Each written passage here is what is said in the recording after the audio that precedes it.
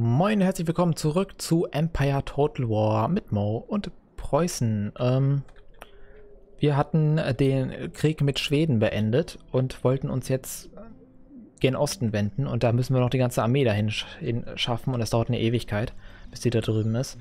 Und in der Zwischenzeit bauen wir ein bisschen Infrastruktur aus, würde ich sagen.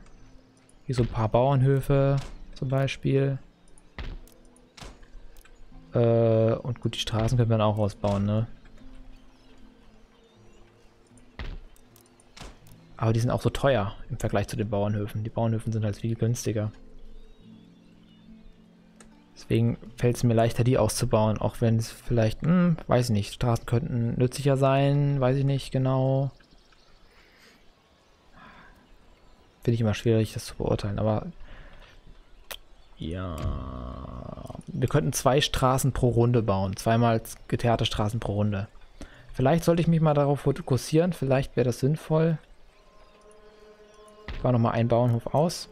Und dann fange ich vielleicht nächste Runde mal an mit den Straßen.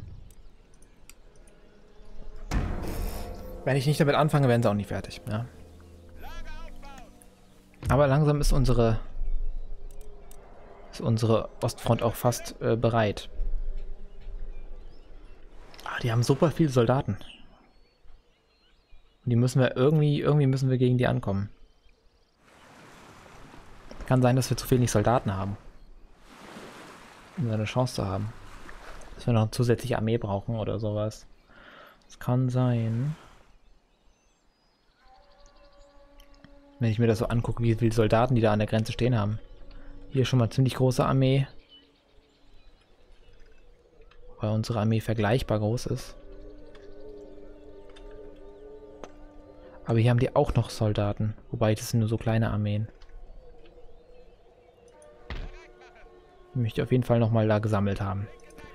Und die könnten, wir könnten jetzt halt nochmal neue Leute ausbilden. Was haben wir denn hier als an Soldaten? Ähm, keine Kavallerie auf jeden Fall, wie ich sehe. Hier Kavallerie. Dann bräuchten wir vielleicht nochmal Artillerie. Wobei vielleicht nicht ganz so viel. Und ansonsten vielleicht nochmal ein bisschen Oh, mal sehen, wie weit man damit kommt. Kommen wir später nochmal reinschauen, wie es da aussieht. Was haben wir hier? Die kinetische Theorie der Gase. Daniel Bernoulli. Ah, das sagt mir was. Äh, Naturwissenschaftler und Mathematiker hat eine kühne neue Hypothese zum Wesen der Gase aufgestellt. In seiner Ar Arbeit Hydrodynamika hat der in den Niederlanden geborene Akademiker eine kinetische Theorie der Gase skizziert, die Sir Isaac Newtons Theorie widerlegt, dass der Gasdruck von der statischen Abstoßung zwischen den Gasmolekülen herrührt. Stattdessen behauptet Bernoulli, dass der Gasdruck von der Häufigkeit der Kollisionen zwischen den Gasmolekülen verursacht wird, die sich übrigens in jede nur erdenkliche Richtung bewegen. Durch Ausdehnung wird Wärme aus der kinetischen Energie der Gasmoleküle genommen, äh, gewonnen, die zu schneller Bewegung angeregt werden, indem äh, dem System Energie zugeführt wird. Dieses neue Wissen wird den Forschungen anderer Wissenschaftler zweifellos zuträglich sein und zu zahlreichen praktischen Fortschritten führen, die noch gar nicht abzusehen sind. So. Ähm, ja, ansonsten hier können wir nur so Milizen bauen. Das ist natürlich ungünstig, weil der da ziemlich weit weg ist. Ja.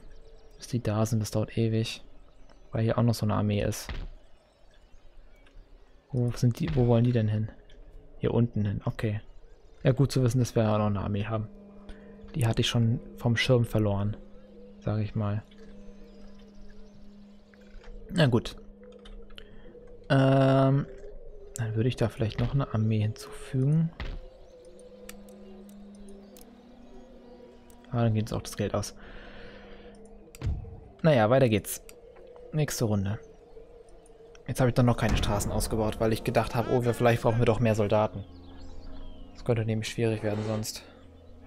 Mal schauen. Also wir müssen auf jeden Fall irgendwie zusehen, dass wir die Armeen von den Russen da irgendwie dezimiert bekommen, die da an der Grenze stehen, weil das sind schon ziemlich viele. Und ich würde mal vermuten, dass im Landesinneren auch noch ein paar sind.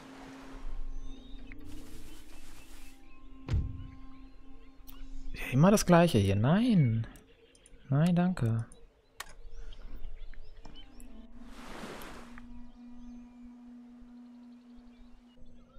So, jetzt werden wieder sehr viele Städte fertig. Wie es aussieht. Neue Stadt entsteht in Norwegen. Neue Stadt entsteht in Schweden. Lulea, la la la la, Lulea. Na, na, na, na, na. Ähm. Oh, die sind noch nicht fertig hier. Können wir noch mal weiterhelfen. Wo ist denn diese Stadt? Müsste doch hier oben irgendwo sein. Ach so, das ist eine Stadt. Ich dachte, das wäre ein Hafen.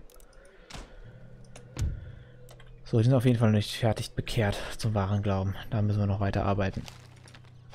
So, Baubericht. Jawohl. Ähm, genau, und dann sammeln wir noch weitere Soldaten. Aber es könnte dann vielleicht auch langsam reichen. So, jetzt fangen wir vielleicht mal im Westen an, um da hoffentlich irgendwie geordnet vorzugehen, hier unsere Straßen auszubauen. So. Das wäre mal ganz schön, wenn wir da mal auch vorankämen mit unserem Straßenausbau. Kann ja nicht wahr sein, dass das hier so ewig dauert. Dann wär der, wenn wir das früher gehabt hätten, ne, dann wäre auch der, der Aufbau der Ostfront schneller gegangen. Naja. Wie auch immer.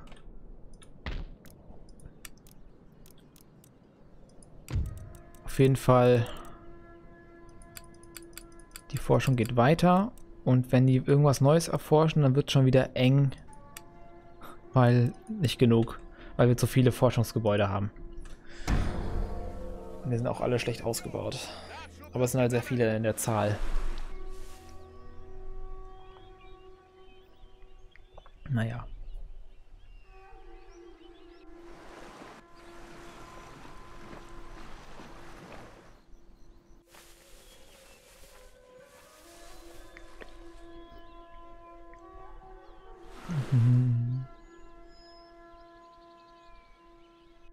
So, weiter geht's. Wahlergebnisse, schön und gut. Äh, neue Stadt entsteht in Westpreußen. Ist auch schön, aber ich wollte jetzt erstmal Stra äh, Straßen bauen. Da wollte ich mich gerne von West nach Ost vorarbeiten. So, jetzt haben wir hier diesen Bereich. Äh, jo.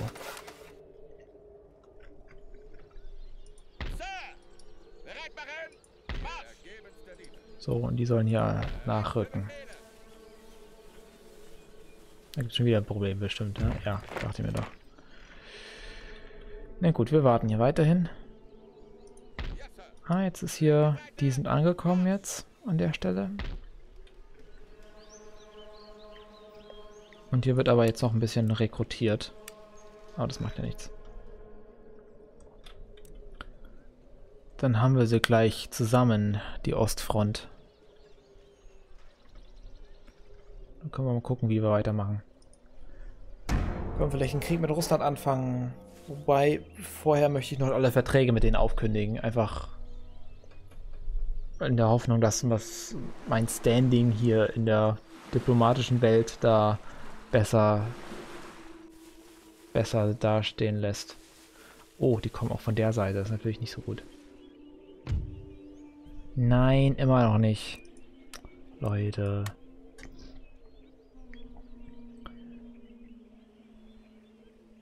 Ich kann ja den Militärzugang widerrufen, dann werden die ja zurückversetzt, denke ich mal. Aktion vernichtet, Cherokee. Die wären hier gewesen. Und sind jetzt nicht mehr da. Natürliche Ursache, Missionar ist gestorben, okay. Baubericht. Ah ja. Jetzt können wir wenigstens bald hier in der Artillerie weiter forschen.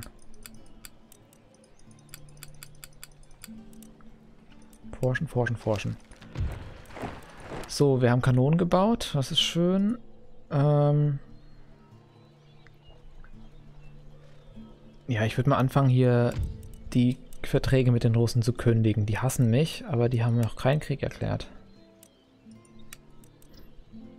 Die sind mit Dänemark verbündet, sonst mit niemanden. Okay. Und die Osmanen könnten wir vielleicht als Verbündeten hinzuziehen, da bin ich mir noch nicht ganz sicher.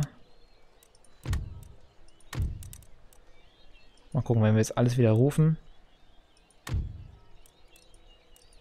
Mal schauen. Jetzt haben wir keine Verträge mehr mit denen. Ähm ja, es sind die zurückversetzt worden. Da oben kommen wir nicht hin, da wo diese Armee steht. Das ist natürlich schlecht.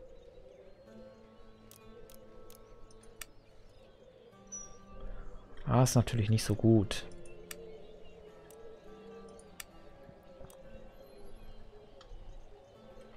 Mal gucken, was die machen, wenn die da, die da haben. Hm. So. Da können wir auf jeden Fall nach Kiew weiterlaufen. Und hier müssen wir hier irgendwie eine Lösung finden, um mit denen fertig zu...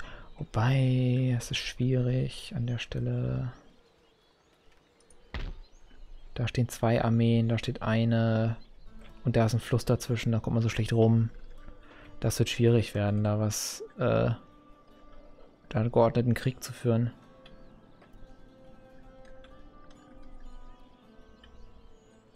Weil ich mit denen gerne da runterlaufen würde. Die Russen sind momentan nur mit Georgien im Krieg. Machen anscheinend nichts dagegen.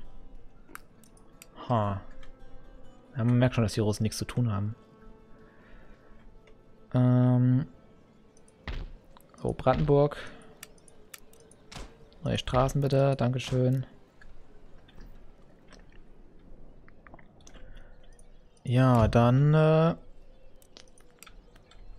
wie machen wir es denn?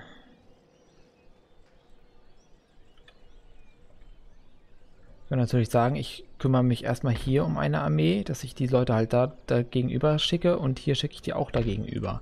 Ich meine, das ist ja keine Stadt, die man jetzt schützen muss, das ist ja keine Provinzhauptstadt.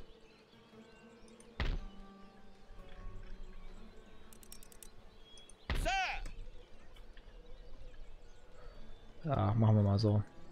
Ich stell die, die sollen sich einander direkt gegenüberstellen. Wenn die sich nicht noch weiter bewegen, was natürlich sein kann, dass sie sich jetzt bewegen. Aber der kann da hinten rumgehen. Mal schauen. Gehen wir erstmal weiter die nächste Runde. Mal gucken, ob die jetzt sogar schon den Krieg erklären. Könnte ja sein.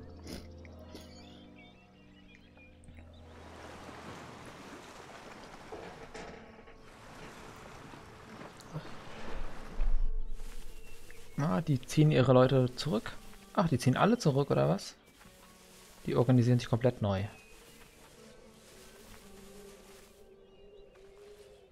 Mhm, mhm. Aber die Armee steht da noch. Okay, dann organisieren wir uns doch mal um. Denn da ist ja jetzt niemand.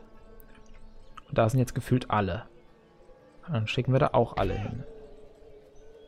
Weil ich nicht weiß, ob die da stehen bleiben. Keine Ahnung. Aber da stehen jetzt die Leute. Gehen wir auch dahin. Und da steht halt jetzt jemand. Wir müssen uns halt mal dahin bewegen, damit wir halt dann direkt gegen die kämpfen können. Ach du Schande, muss man da kompliziert gehen. Ist ja schlimm. Ähm, jetzt haben wir nur das Geld für eine weitere Straße. Die bauen wir dann in Bayern. Und für die nächste reicht das Geld. Ich, ich konzentriere mich jetzt auf den Straßenbau. Ich baue jetzt sonst keine kleineren Sachen aus. Aber danach haben wir ein bisschen mehr Einnahmen, so wie es aussieht. Na, immerhin. Ja, nächste Runde.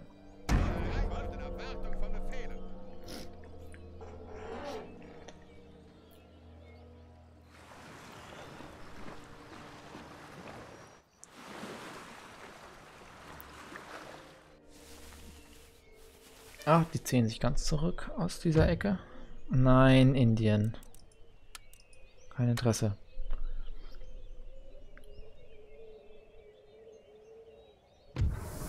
So, da haben wir wieder was erforscht. Das ist schön. Weg versperrt. Ja, jetzt ist hier niemand. Jetzt kann ich natürlich auch, jetzt weiß ich natürlich nicht, wo die hingehen.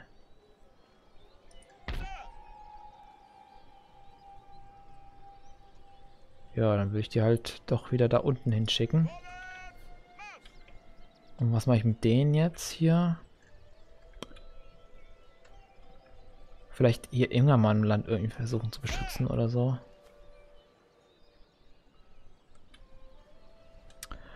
Russland ist halt so groß, Mann. Das ist schwierig mit so einem großen Land.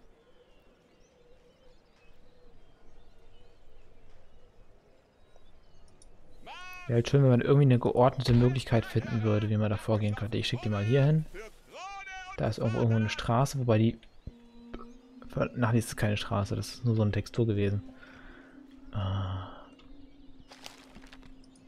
Schwierig. Alles schwierig hier in Russland. Deswegen sind auch so viele daran gescheitert. Äh, gut, nur von Napoleons Scheitern weiß man ja hier noch nichts. So. Bayern ausgebaut, Straßen ausgebaut, hier Österreich und Böhmen, Mähren. Und jetzt hier noch Schlesien. Es geht voran.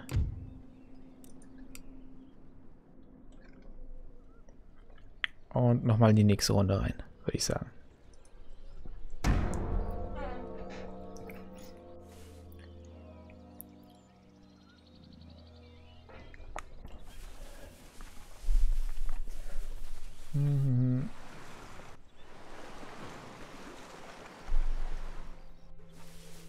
Jetzt ziehen die sich da auch zurück.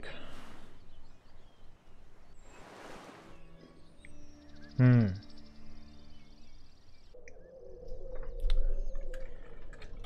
Ha. Fraktion vernichtet. Irokesen. Ja, sind die Irokesen schon wieder weg. Äh, so, Straßen gebaut. Neuer Temp neue Temperaturskala. Ach, guck, schon wieder. Schweden. Guck an, anders Celsius. Hatte ich doch schon mal gesagt. Die Königlich Schwedische Akademie der Wissenschaften hat eine wissenschaftliche Arbeit von Anders Celsius, Professor der Astronomie an der Universität Uppsala, mit dem Titel Beobachtung zweier Fixpunkte an einem Thermometer entgegengenommen. Celsius der bereits als Gründer des Observatoriums in Uppsala und für seine detaillierten Studien der Polarlichter gefeiert wurde, schlägt eine Skala zur Temperaturmessung vor, bei welcher die, der Siedepunkt von Wasser mit dem Wert 0 und der Gefrierpunkt von Wasser mit dem Wert 100 gekennzeichnet wird. Darüber hinaus hat Celsius auch festgestellt, dass der Siedepunkt von Wasser je nach beherrschendem Luftdruck schwankt und dass der Gefrierpunkt von Wasser von äußeren Faktoren unabhängig ist.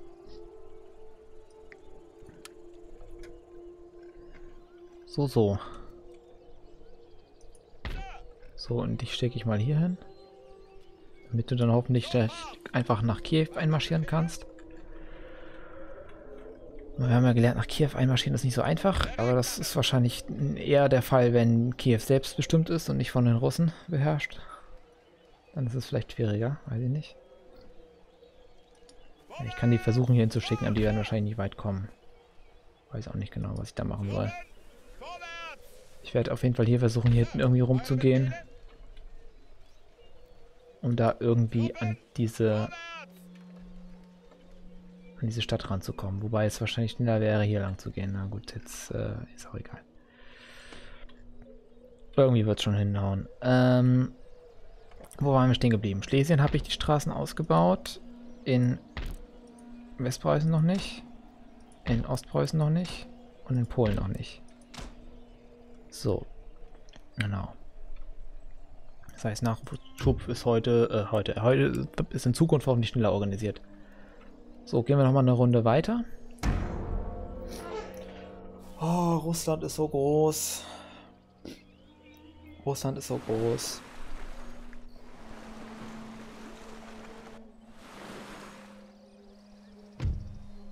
Jetzt wollen sie ein Bündnis haben.